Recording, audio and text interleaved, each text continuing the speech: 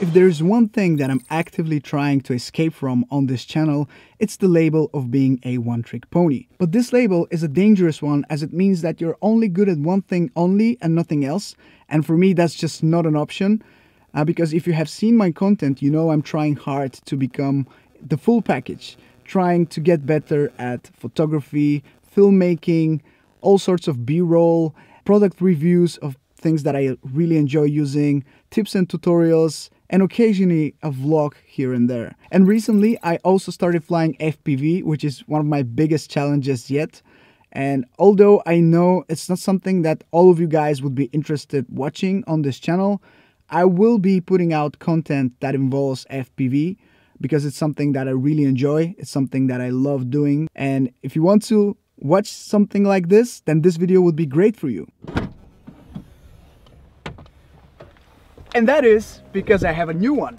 I just built a new racing FPV drone and I want to test it out and show you a few things about it.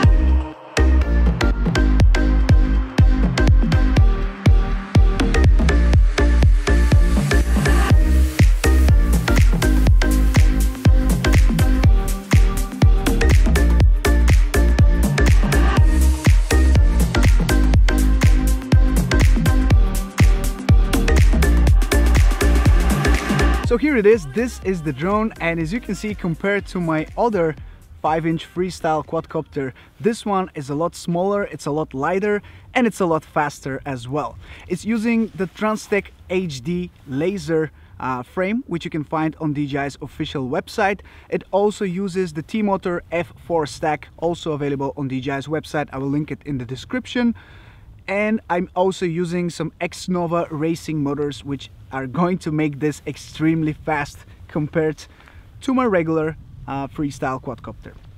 So uh, I'm really excited to try this out. I've only flew with this for five batteries in total so it's still brand new to me. So this drone I wanted to build it myself. I didn't want to buy a pre-built configuration. I wanted to get dirty and uh, learn how to build myself.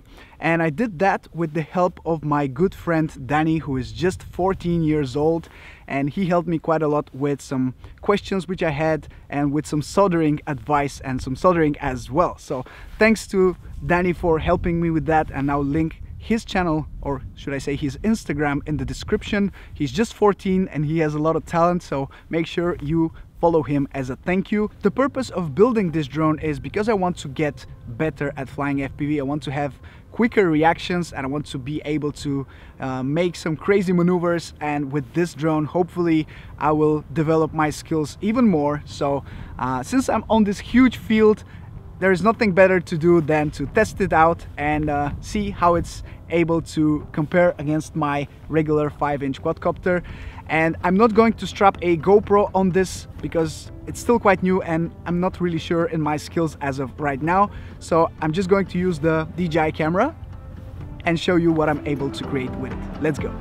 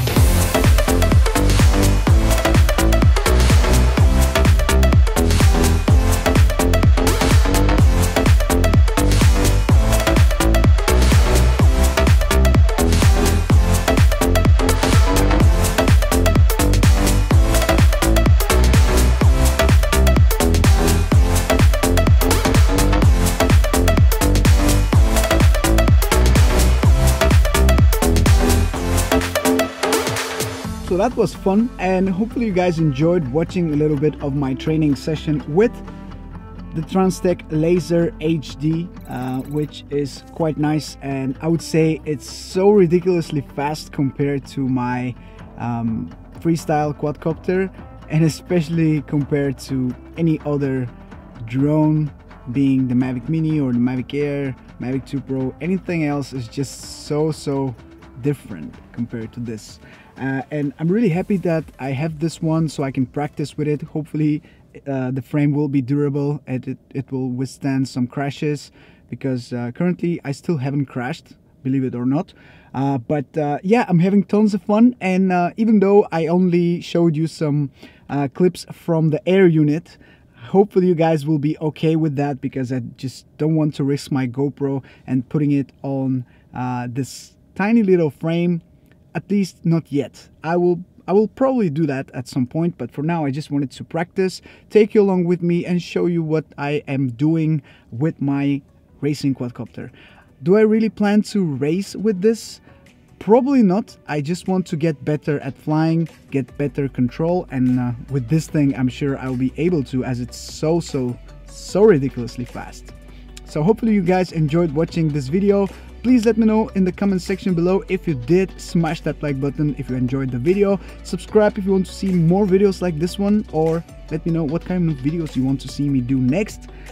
And I'll see you very very soon in my next one. Ciao!